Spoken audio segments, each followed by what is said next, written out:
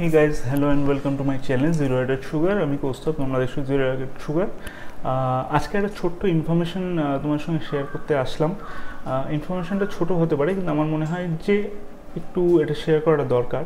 মানে যেহেতু এটা আমাদের হেলথ রিলেটেড একটা ব্যাপার আমি আগে লক্ষ্য করেছি ব্যাপারটা, কিন্তু আজকে ফেসবুকে একজনের পোস্ট দেখলাম, আমার এক্স্যাক্ট নামটা মনে পড়ছে না। আমার ফ্রেন্ড লিস্টের কেউ নয়, বাইরে। তো ফেসবুকে একজনের পোস্ট দেখে আমার মনে হলো যে আমারও এ সম্পর্কে একটা ভিডিও করা উচিত মানে মানুষকে যদি কিছুটা অ্যাওয়্যার করা যায়। ব্যাপারটা হলো যে, আমরা যখন কোনো রান্না করি অনেকেই বিভিন্ন রান্নার প্রয়োজনে ফুড কালার ইউজ করি। তো ফুড কালার ইটসেলফ খুব একটা ভালো জিনিস না অনেক ক্ষেত্রে আমরা দেখেছি। কিন্তু প্রবলেমটা সেটা নয়। একদিন একটু ফুড কালার খেলে হয়তো কিছু হয়ে যাবে না, কিন্তু প্রবলেমটা হলো যে, এই যে আমরা লকডাউনে বসে, ধরো বিভিন্ন রকম পোলাও খাচ্ছি, বিভিন্ন মিষ্টি আইটেম খাচ্ছি, বিভিন্ন কেকস জাতীয় জিনিস খাচ্ছি, যেগুলো মানে কি বলব অ্যাডিশন কালারের একটা আর্টিফিশিয়াল কালারের একটা প্রয়োজন হয়, সেক্ষেত্রে ফুড কালার প্রয়োজনে একটা নেসেসিটি চলে আসে। কিন্তু সমস্যা যেটা হলো যে আমাদের লোকাল এরিয়ায় যে মুদি দোকান রয়েছে বা যেসব এমনি যেসব ডিপার্টমেন্টাল স্টোর ডিপার্টমেন্টাল স্টোরে হয় না, বলব না, এমনি ছোটোখাটো যে দোকান আছে, সেই সব জায়গায় গিয়ে যদি আমি ফুড কালার চাই তাহলে যে ফুড কালার সাধারণত ধরায়, একটা জায়গায় না, বহু জায়গায় আমি দেখেছি গ্রসারিজগুলোয় যে ফুড কালার ধরায়, সেই ফুড কালার কিন্তু আমরা কিনে নিয়ে চলে আসি। কিন্তু এটা খুব মারাত্মক ব্যাপার, কারণ আমি তোমাদের সঙ্গে একটা ফুড কালার দেখাচ্ছি, আমার কাছে যেটা আছে আমি সেটা দেখাচ্ছি। এখানে এটা মধুসূদন এস এস ইন্ডাস্ট্রিজের মধুসূদন কোম্পানির একটা ফুড কালার রয়েছে। এটা ঝাড়খণ্ডে ম্যানুফ্যাকচার্ড এটা এরকম আরও আছে প্রোডাক্ট আমি তোমার ডিটেলে এটা দেখাচ্ছি। দেখতে পাচ্ছ না? হয়তো আমি ডিটেল দেখাচ্ছি, দেখো। হ্যাঁ তো এই যে ফুড কালারটা বলছি, এটা তোমরা দেখতে পাচ্ছ যে এটা একদমই মানে হেলথের পক্ষে একদমই ভালো না। এটা লেখাই আছে। এখানে ক্লিয়ারলি মেনশন করা আছে, মধুসূদন ছাড়াও অন্য কোম্পানিরও হয়, যেমন গোবর্ধন কোম্পানিরও এরকম একটা মানে ফুড কালার পাওয়া যায় পাউচে দোকানে। আমি সেটাতেও সেম কেস আমি দোকানে গিয়ে আজকে যাচাই করে কাউন্টার চেক করে এটা দেখে আসলাম, দু তিনটে দোকানে। সেটা হলো যে এটাতে ক্লিয়ারলি মেনশন করা আছে নট ফর হিউম্যান কনজামশন ঠিক আছে clearly for industrial use not for human consumption তো পরিষ্কারভাবে মেনশন করাই আছে যে এটা মানুষের খাওয়ার জন্য না ইন্ডাস্ট্রিয়াল ইউজের জন্য কোনো কিছু কিছু বানাতে গেলে বা কিছু করতে গেলে সেক্ষেত্রে এই কালারটি ইউজ করা যায়। কিন্তু প্রতিটা মুদি দোকানে, প্রতিটা গ্রসারিজ শপে আমি দেখেছি, এইটাকে কেউ গিয়ে যদি বলে ফুড কালার আছে, তো এটাই দিচ্ছে।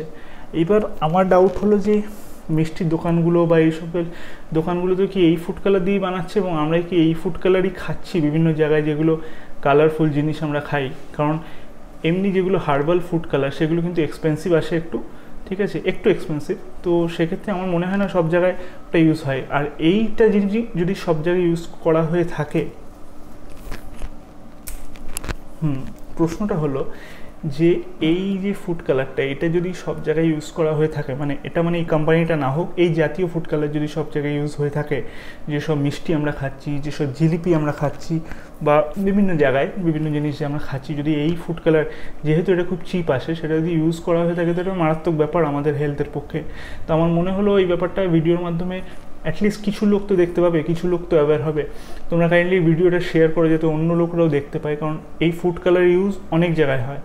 অনেকে বাসন্তী পোলাওতে ইউজ করছে, অনেকে পনির মশালা ইউজ করছে, বিভিন্ন মিষ্টি জিলিপি বানাতে ইউজ করছে ভীষণ ভয়ঙ্কর এফেক্ট এটার হতে পারে। মানে আমার মনে হয় না এটা খাওয়া উচিত, কারণ যেখানে লেখা আছে industrial use not for human consumption তো এটাকে স্ট্রিক্টলি এবং কোম্পানিকে কোনো রকম দোষারোপ করাও যাবে না, কারণ কোম্পানি মেনশনই করে দিচ্ছে যে এটা, আমরা মেনশন করে দিচ্ছি যে এটা হিউম্যান ইউজের জন্য নয়।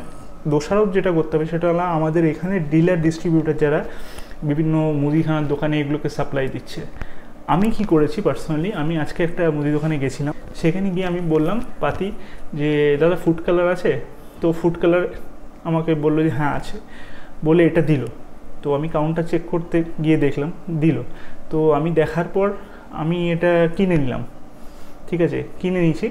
কিনে নেওয়ার পর আমি আরেকটা দোকানে গেলাম। আরেকটা দোকানে গিয়ে বললাম যে ফুড কালার আছে দাদা?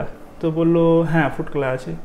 বলে আরেকটা কোম্পানির ফুড কালার দিল, যেটা আমি বললাম গোবর্ধন কোম্পানি এটা মধুসূদনে ওটা গোবর্ধনে সেম টাইপের প্যাকেজিং সেম টাইপেরই সেম প্রাইসিং তো দিয়ে বলে তো আমি দেখে দেখলাম যে, ওটার পিছনেও একইভাবে মেনশন করা আছে not for human consumption for industrial use only তো আমি সেটা মুদি দোকানে বললাম যে, আপনি এটা বিক্রি করছেন দাদা, এটা তো লেখা আছে পরিষ্কার। তুমি দেখো নি দাদা যে এটা বিক্রি করছ? তুমি তো তো স্বাভাবিকভাবে মুদি লোক মুদি লোক অতটা নোটিস করেনি। ও বলছে, কোথায় লেখা আছে? আমি সেই দেখো পিছনে। তো আমি দেখানোর পর সেই জিনিসটা কি বলল? সে বলল, আমি তো কখনো দেখিনি। এরকম ব্যাপার লক্ষ্য করিনি দাদা। এটা তো সত্যি তো ভুল ব্যাপার। এটা তো লোকে দেখলে তো আমার দোকানের ই হবে। তো আমি বললাম হ্যাঁ আপনি এটা কেন বেচবেন? এটা রাখবেন না। আপনি যে ডিলার বা ডিস্ট্রিবিউটার দিতে আসছে, তাকে পরিষ্কার প্রশ্ন করবেন যে এটা কেন লেখা আছে। প্রত্যেকটা দোকানদারকে এটা জানানো উচিত যে এই টাইপের ফুড কালার যেন তারা না বেচে, কারণ তারা না বেচলে মানুষ কিনবেও না। ঠিক আছে? তো এইটুকুই মেসেজ আমার দেওয়ার ছিল। আমার ভিডিওর মাধ্যমে যদি কিছু লোককে অ্যাওয়্যার করা যায় তো ভালো। যাই হোক, ব্যাস এটুকুই আজকে বলার ছিল। চ্যানেলটা সাবস্ক্রাইব করো আর ভিডিওটাকে শেয়ার করো, ঠিক আছে? লাইক করো, না করো, ভিডিওটাকে শেয়ার করো অন্যদের সাথে। ফেসবুকে ভিডিওটা ছাড়ছি ইউটিউবে ভিডিওটা ছাড়ছি। শেয়ার করো যাতে অন্য লোকও জানতে পারে। চলো থ্যাংক ইউ